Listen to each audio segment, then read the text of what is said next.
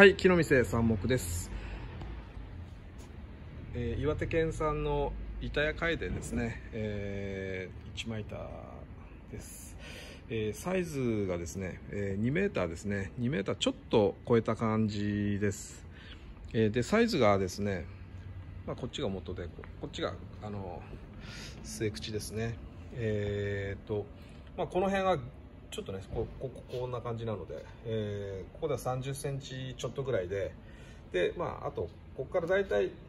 50センチから55センチぐらいの間でずっと、えー来てる感じですね、まあ、元口が少しね、えー60センチ近くまで広くなってますけどだいたい50センチぐらいの幅の板になります。で厚みがですね40ミリになります。はいえー、っとですねこれなかなか今ねちょっと塗装も楽しみなんですけど木もね結構こう動いてるんですよね。で、えーこの辺もですねえー、と接着剤であの皮の部分をねちょっとあの表面だけこう固めてる感じで今処理してます。こう塗装の感じもねあの後でチェックしてもらえばいいかなと思います。あとはですねまあ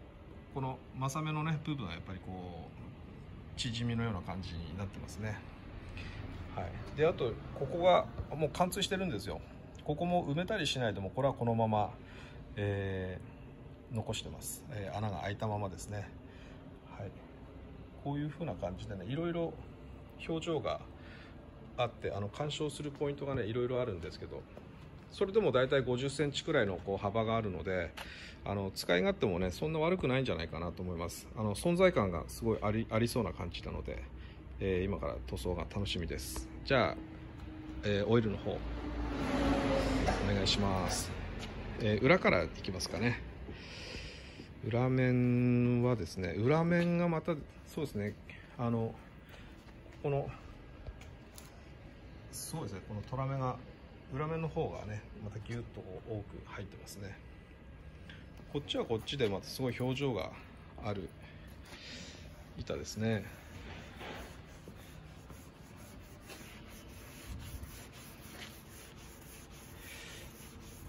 板屋会ではですねあのーやっぱりなかなか難しいですね。やっぱり製材して、まあ、これは原木であのー仕入れて、えー製材をして、えー両面プレーナーかけて今このように、あのーオイル塗るところまで来たんですけどやっぱりこのねじれですね。すごいねねあのねじれやすいですし、えーお椀になりやすいですね。あの製材してからの何年かの間でですね。もう大体1年ぐらい経たないうちにあのもう割れが入ったりとかあのお椀になってくるんで、まあ、そこからまずねそのその時点でもう板の個性がぐっと出て個性というかその動きの癖ですね。そこから、あのはある程度ねあの落ち着いて動きはねそんなに大きくは出ないんですけどだからこれも今ね仕上がりで 40mm だったんですけどえーとね、プレーナーをかける前がだいたい60ぐらいがあはあったかなと思います。そこそこ厚い板で。で、えー 40mm ぐらいですね。大体もう表裏で1センチずつあの削れた感じだったのでやっぱりある程度動いた木ですね。はいこれ裏側のこの縮みの部分ですね。あこの辺からこう分かりますかねはい木裏でこんな感じなのでね木裏の方があの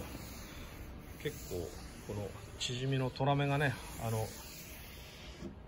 激しく出てる感じがしますね。そして全体はね白田なんですけど赤みがちょっとこうねあの節の周りから赤みが入り始めてる感じの木ですね。はい裏面こんな感じです。じゃあ表の方ですか。こ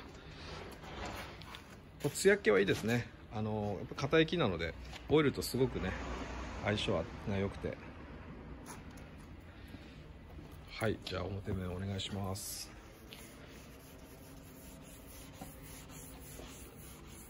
ああこれもいいですね。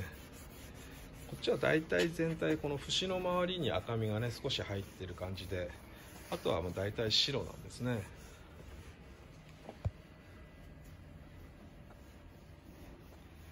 ああいいですね。この塗ったとそばからねこのトラ目が縮みこのねトラ目が結構よくね浮き出ていい感じですね。立体的になってますやっぱりかかあの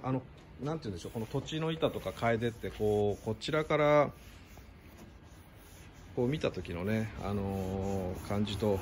こちら側からこう見た感じがまたこう全然違いますよね。このこういうなんかあの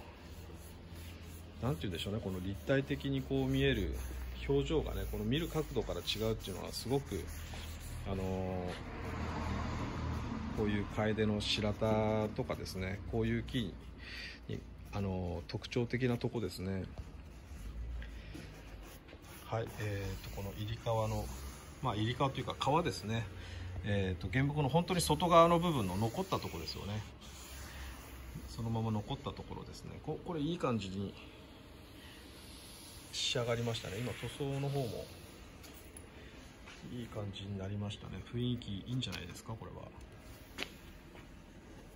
は。はい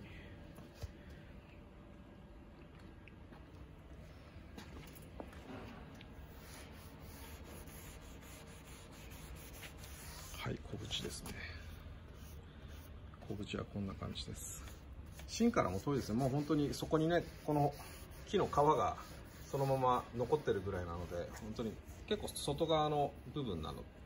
だったんですねこの板はね。はい。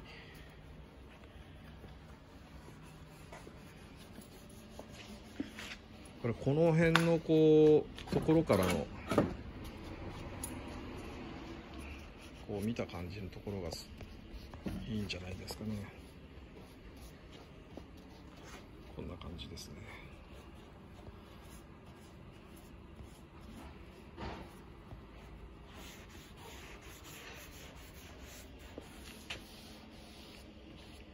そうですね。これはあのそうですね。できれば、まあ、幅がだいたい50センチちょっとぐらいのあの板なんですけど壁側に片側ちょっとね切り落とすとちょっと表情が今見てるこの印象とはちょっと変わってきちゃって片耳落とすとちょっともしかしたら貧弱になってしまう感じがなんとなくありますね。それぐらい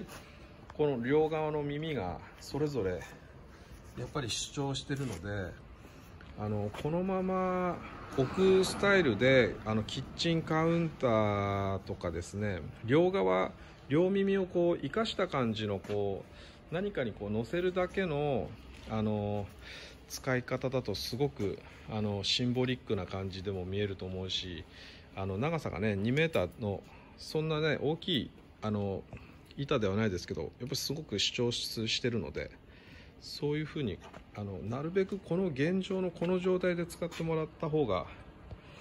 あのこの板はねあのすごく映えるような気がしますね。はいこんな感じですね。すごくいい感じでオイルとあのあってねあのオイル塗ったことによってねすごいまたもともとねそんなに木目の際立つ木じゃないのでそれでもそうですねここういうところとかここのこの節の周りねいいですよね。この辺とかまあそして縮みがこう入って。そなんかもういろんな角度から楽しめるあの板かなと思います。本当に見ててずっと見てても飽きない感じの板ですね。はい、えー、そんな感じで今塗装が、えー、終わりましたのではい、えーこの板、えー、楓ですね。板楓岩手県産の、えー、すごくいい感じに仕上がりました。はい、えー、動画の方ですね、えー、毎日のようにねまああのなるべくねあの週たくさんあの配信するようにしてますのでいろいろねこうやって珍しいあのものをね、えー、撮っていけたらいいかなと思ってやってますので、えー、ぜひチャンネル登録お願いしますはいそれではご視聴ありがとうございました。